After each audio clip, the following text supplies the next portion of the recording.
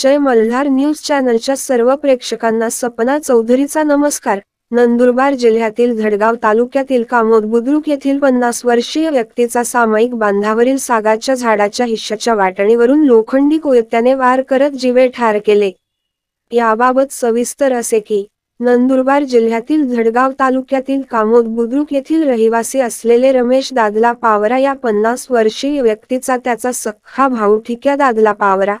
सायलीबाई थिक्या पावरा गळ्या पाडक्या पावरा दादला पाडक्या पावरा गिलदर पाडक्या पावरा खेम्या गळ्या पावरा गुलाब गण्या पावरा रोहिदास दादला पावरा खेत्र्या उतार्या पावरा व रामदास गिलदर पावरा यांनी रमेश दादला पावरा यांच्या शेताच्या सामायिक बांधावरील सागाच्या झाडाच्या हिस्से वाटणीच्या वादावरून थिक्या दादला पावरा यांनी जिल्हाधिकारी नंदुरबार यांचा जमावबंदीचा आदेश असताना गैरकायद्याची मंडळी जमवून एकत्र येऊन रमेश दादला पावरायास लोखंडी कोयत्याने मानेवर तोंडावर पाठीवर डाव्या पायाच्या कोटरीवर वार करून गंभीर जखमी केले व त्यांच्या समवेत असलेले यांनी रमेश दादाला पावरा यास काठीने दगडाने तसेच हातात बुक्क्यांनी पाठीवर पोटावर मारहाण करून गंभीर दुखापत करीत जीवे ठार मारले.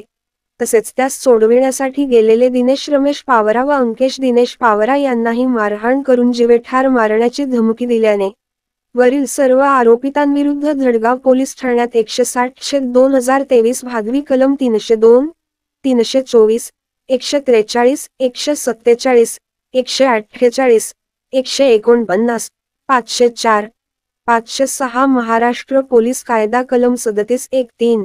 चे उल्लंघन कलम एकशे पस्तीस प्रमाणे गुन्हा दाखल करण्यात आला आहे. दिनेश रमेश पावरा यांनी फिर्याद दिल्याने गुन्हा दाखल करण्यात आला आहे.